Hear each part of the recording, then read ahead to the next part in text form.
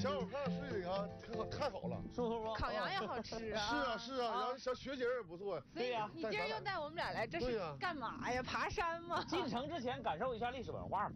燕州山城遗址，那很多人觉得咱们这个辽阳发展史、兴盛史啊，就是从这个辽代开始的，其实不对。啊，不是那回事啊！那是从什么时候？得往前推，东晋元年啊，四零三年的时候建的，就是一千六百多年，多年。但是我跟你讲，这还不是最老的，还不，咱们出土那个文物襄平布，哎，将这个辽阳的建成史再往前追溯到两千三百多年前，这是在辽阳地面上你能看到的最老的古城墙。哎呀！这个我想起了一首歌词，什么呢？风呼啸着俘虏围墙，哎，雨水冲刷记忆跟过往，我都不用猜呀，太美了！上上边的那个指挥部看一下，走走走走走。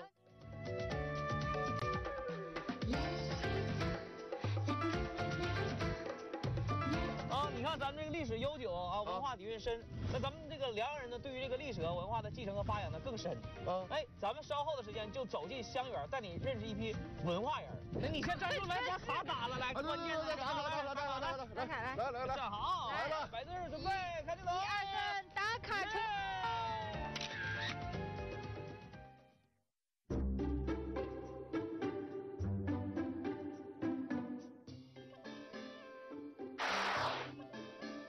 这个地方是省级旅游休闲街区。哎，你还别说啊，一到这地方我就闻，这文化味儿真浓。咱们辽阳当地的很多文化名人在这里呢，继承和发扬一些非物质文化遗产项目。五个球，拿一个红碗，搁碗别磕，磕碗别蹦。我喊一二三，各位您注意看，吹口气，看吹气儿，吹气了。我憋一碗。哎呀！啊！吓我一跳！哎呀妈！南哥，我们这个王老师是这个非物质文化遗产钢官窑的这个传承人哦。哎，那咱这个钢官窑有什么历史？咱想了解了解。呃，辽代和这个这个窑厂的创烧，为了老百姓这种生活使用啊，开始烧瓷了。在金代这个辽阳这个钢官窑这个盛烧，官窑是就是官方出品，对对，官方出品，对啊，有品牌保证，对对，然后有版权价值。所以我们这个钢官窑的地位也是很高的，是不是？哎，这个好看，嗯，好看啊，这两个有区别啊，哎，真好看，这俩有啥区别？这俩区别呢？这个就是电窑烧的，这个釉面呢就是都是一致的，这个就是柴窑烧的，这面呢就是颜色火有有大了，火大了发深。对，是不是可以这么理解？用柴窑烧的没有一件作品是一模一样的。确实是，就是哦。就说实话，我就是这么多期妥妥的香味儿，我还真就没有自己做一个完整的作品。自己做一个，自己做一个，那咱体验一下呗。行，两个小师傅正在做呢。拉皮，拉皮，哎，嗯，等会儿呢？啊？怎么了？你没发现他俩长得一样吗？啊？是吗？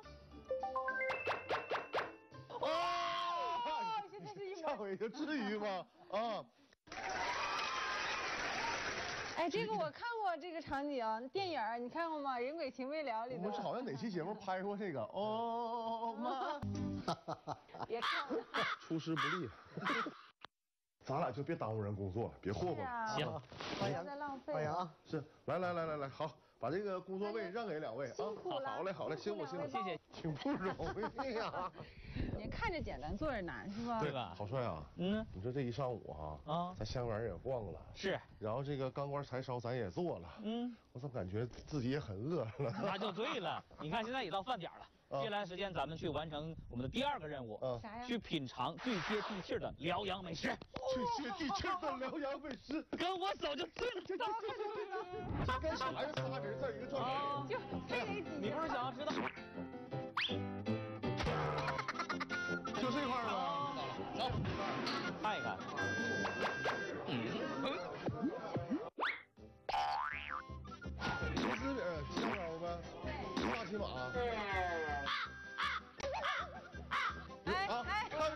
他跟着菜走了呢。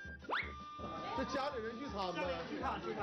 啊，这个都是是我母亲。母亲，这个是大姨。这是二姨。二姨。老姨。老姨，这是这是老老老。哎呦，我太好了，你太幸福了，全家人都这儿，平时也来这儿吃吗？平时也来，菜菜也好，饭也好，酒也香。就特别适合咱家庭在这聚会。哦老爷，你说那你最爱吃他家啥玩意儿？锅包肉，锅包肉。老爷呢？奶奶，你爱吃锅包肉、炸丸子。